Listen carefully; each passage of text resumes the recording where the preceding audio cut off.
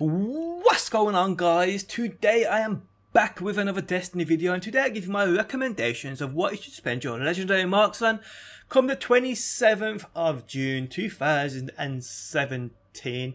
Now before we get into the video guys, if you do enjoy leaving a like is much appreciated on my behalf. Okay, so we're going to start with the Crucible Quartermaster. And to be honest, there's nothing incredible here this week. Um, but there are a few bits and bobs which you may be interested in. I'm going to start with the zero day dilemma. As we can see on this, we've got on it Hidden Hand, Hand-Laid Stock, as well as Battle Runner or Grenadier. Now, this is actually quite a decent auto rifle. Um, the archetype's quite powerful as well. With hidden hand and hand laid stock, we've got stability, we've got um, target acquisition. This is actually quite decent. It isn't too bad at all. And runner as well. Uh, even grenadier, why not? If you're that type of person who likes to chuck grenades, why not? So yeah, the zero day dilemma isn't that bad this week. Uh, also, a weapon that isn't too bad this week is the B29 Party Favor. On it this week we have Headseeker, uh, Brace Frame. I'm not sure what that takes the magazine size down to, probably about 18, probably less than that, which is a bit of a shame. Or we've got appended magazine, which uh, increases magazine size, as well as Outlaw or Life Support. So this could be quite decent. I'd probably go with Outlaw, uh, appended mag, and Headseeker. I mean, you obviously don't have to be as accurate with Headseeker because body shots increase uh, precision damage for a short time. So yes, aim for the body. Every headshot will um, give you extra damage, so why not? So yeah, this isn't actually too bad. The sight, I know, I actually don't mind that sight as well. The reflex sight, it, it's, it's underrated. A lot of people just say it's absolute garbage, but to be honest, there's way worse sights you can have in this game. So yes, the B29 Party Favor this week isn't too bad. Uh, what else we got? Well, the the hero formula I've said this a million times. I've got a perfect road version of this, and it's still a garbage weapon in my opinion. Uh, reactive reload, um, perfect balance, or armor piercing rounds and Zen moment. But nah, nah. Reactive reload normally good on scout rifles, but I'd skip that. I really would.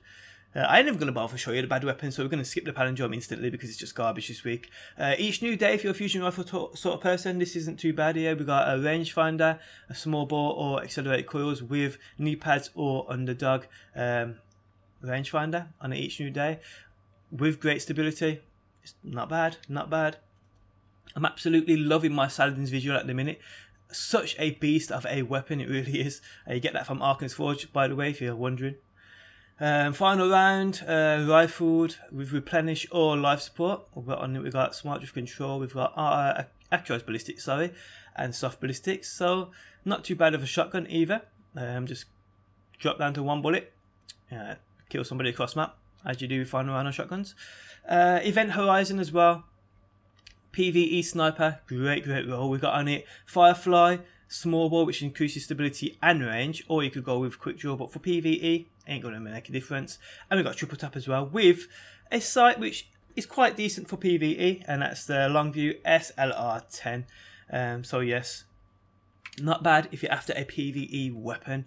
Uh, now, nothing great here. I mean, like, the Anton's rule, yeah, it's a sidearm, but it's just a sidearm. You must have a decent sidearm by now. You really must. So we're going to check out Vanguard, so I'll catch you guys quickly back in a sec. Okay guys, so we're at the Vanguard Quartermaster, and there's two weapons this week, in my opinion, worth you taking a double look at. And the first one is the Angel's Advocate. I actually made a video on this weapon quite a while back when he brought a similar role, uh, or she brought a similar role. I don't know, he's a Vanguard Quartermaster, male or female. I ain't got a clue. Either way, she either got robot boobies or robot penis. Um, but yeah, here we have Rodeo, uh, Perfect Balance and Hidden Hand. Or you could swap Perfect Balance for Hammer Forge. But this shoots quite, well, relatively quick for a Scout. So I'd probably go with Rodeo and Perfect Balance just because of stability wise. With Hidden Hand as well, this weapon is like a legendary um, MIDA Multi-Tool it really is. Now I'll link the weapon review I did of this weapon in the video description if you do want to check it out. But it's Angel's Advocate is definitely a decent scout rifle for PvP, really is. Okay, and the other weapon which is quite decent this week is the Teacup Tempest. On it we have rangefinder, uh, hand-loaded or high-caliber rounds with outlaw or cascade. Now, oh, well, it's true shot as well, or short shot, yeah, not bad. Um, Kick Up Tempest isn't, in my opinion, the best sidearm in the game, but it's quite decent. I died to it quite a lot within PvP. Never actually owned a decent rolled version. Well, I have owned one, but I've just dismantled it because I've got amazing um, sidearms. I'll show you the one I'm using now, uh, even though it's a think I've got it on this character. Yes, I have here. The Binding Blaze. I love this thing. I really do. Rangefinder, Snapshot, and reinforced and it's great it really is it's got extended range within two perks with snapshot and it just drops people it's actually really good um, and you get that from Iron Banner bounties. I think you may be able to get it from the weekly sidearm uh, bounty that uh, Lord Shaxx brings, or is it the Crucible Quartermaster?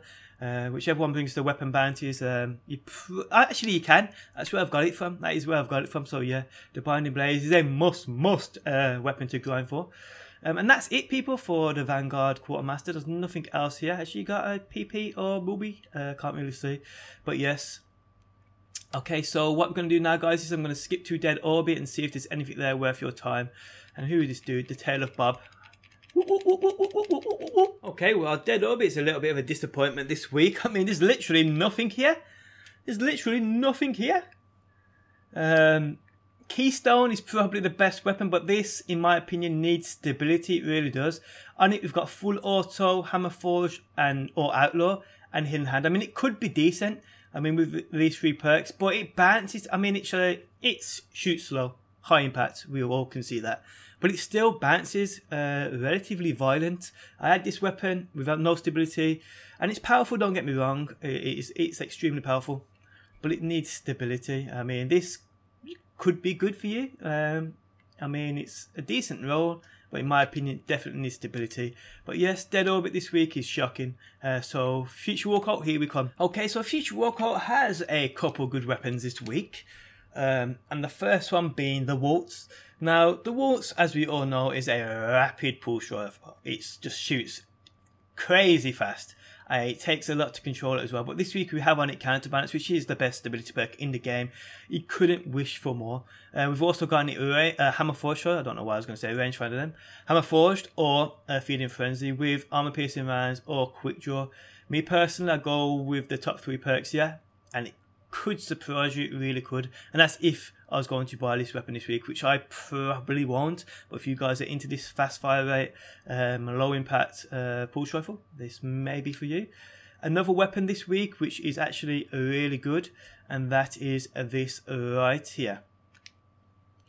On it we have cluster bomb, a tripod, uh, flared magwell or quick draw with warhead veneers, uh, soft launch or hard launch. Now this is a great Great, great, great PvE weapon right here. It really is. Um, shame it hasn't got um, what's it called, Field Scout, but still we're having it tripod and cluster bomb, which is amazing for bosses. It really is. So yes, if you're after a PvE uh, rocket launcher, the Warpath this week is a decent, decent it's not, I wouldn't say it's a must buy, but it's decent. It really is. And to be honest, that is it. This is an amazing sidearm when it comes to the right roll. So if you're ever on the lookout for a sidearm, always check for the wormwood and the roll it's got. It still would outgun most other sidearms in the game. It really would. So yeah. Um, but other than that, people, nothing here is a must buy. Nothing here worth mentioning in my opinion. So I'm going to quickly skip to future, not future war cult, sorry, New Monarchy, and I'll resume when I get there. Uh, and that is it, people. We are at New Monarchy, and there's just nothing here. There's nothing here worth you wasting your marks on, because that's what it would be. It would be an absolute waste. I mean, um, no, there's nothing I'd recommend. There's seriously nothing I would recommend. I mean, okay, the D position seven. Um, I'd say okay, so we've got a decent PvP role here with um, ambush, lightweight or explosive rounds, hammer forged, or clown cartridge, and hidden hand. But how many of you guys actually need a sniper nowadays? I mean, if you need one, this D position isn't too bad at all. Um, decent for PvP, but nothing else here, people. There's literally nothing else here and unfortunately that is it for another video. Um, hope you guys enjoyed. If you did do smash that like button. I do appreciate the support. And as always guys i will see you on that next one